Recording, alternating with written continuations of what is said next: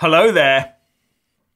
The EU Council President, Donald Tusk, has told Eurocrats not to lecture Italian voters about choosing Eurosceptic parties.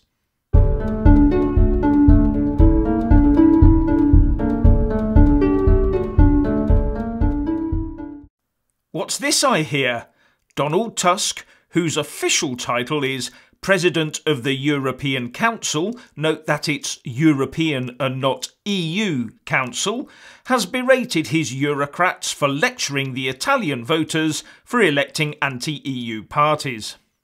This comes after the EU Budget Commissioner, Gunther Oettinger, said that the economic uncertainty in their country brought about by their vote could teach them not to vote that way in the future.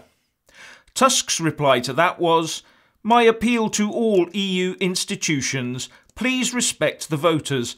We are there to serve them, not to lecture them. And Juncker said Italy deserves respect.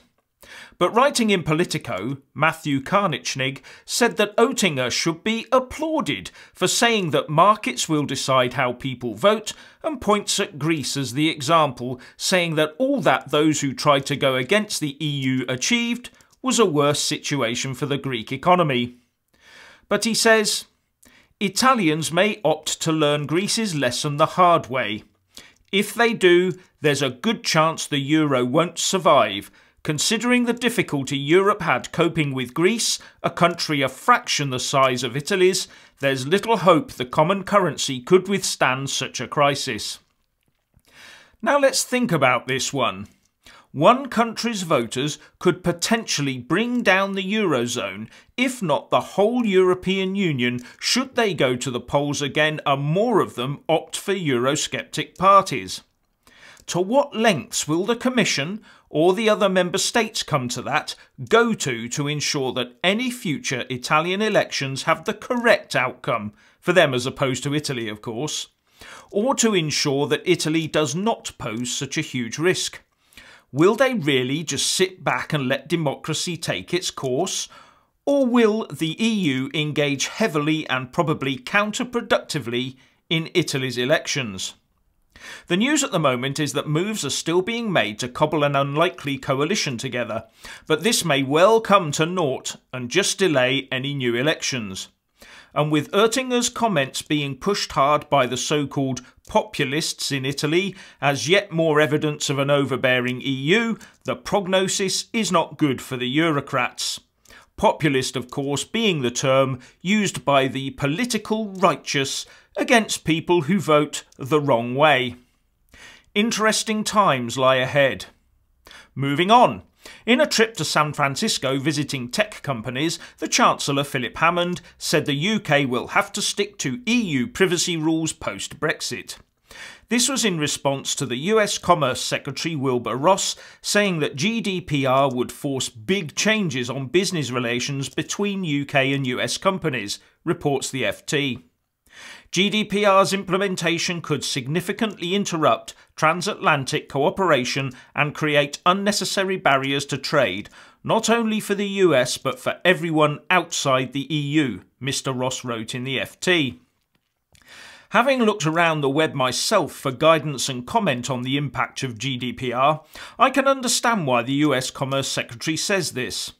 It's all as clear as mud, with no one really willing to put their neck on the line saying that they have the definitive answer, just lots of hints and maybes. When you have little hobby sites having to create four pages of privacy documentation, which their site visitors will never read anyway, you get the idea that this is all just administrative baloney that the little people get hurt by. Couple this with the new copyright laws coming out of Brussels, if they get voted through by the EU Parliament on or about the 21st of June, that is, which could end up with fees to hyperlink to news sources and Big Brother's checks of anything you upload to the internet, you can see why business outside the EU might be worried about continuing their operations inside the EU. Already, some non EU businesses have reportedly geo blocked the EU from their services because of this. It seems to me that, if fully implemented, the combination of all these new rules will shut down on true free expression and innovation and protect the really big players from competition. Sounds very like the sort of approach the EU takes to most things. I personally would much rather be outside of that Soviet style Big Brother zone. Sounds far too much like what China is trying to do for my liking and I think most people will want the same once these new EU laws begin to bite and restrict their use of the web. Unlike Mr Hammond, I don't think we need to stick to EU privacy laws after Brexit, as I think they will naturally unravel as business and social media gets hit.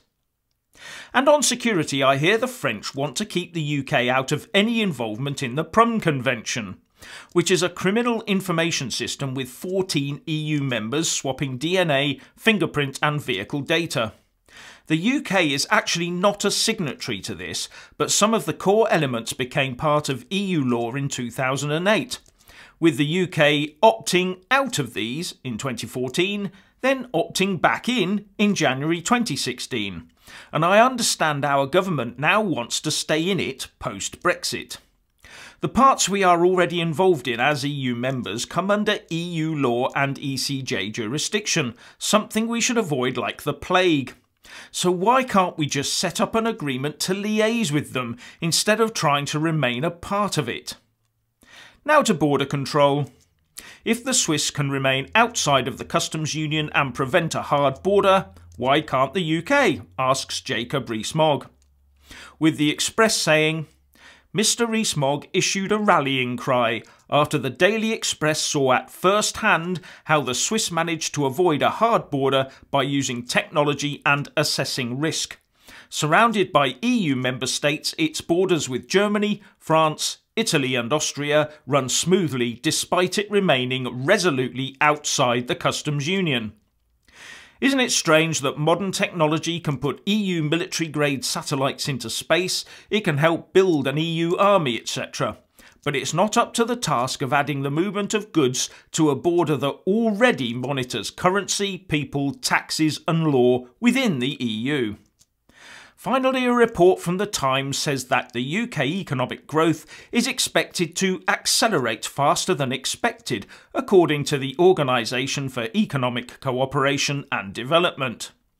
The OECD has upgraded its forecast for this and next year in its latest Global Economy Health Check and predicted 1.4% growth for 2018 and 1.3% in 2019. Oh, and do you remember all those recent bad motor vehicle figures?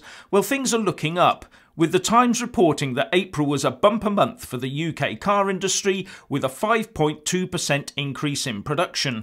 And further, says the report, four out of five of the vehicles were exported. Business keeps on rolling.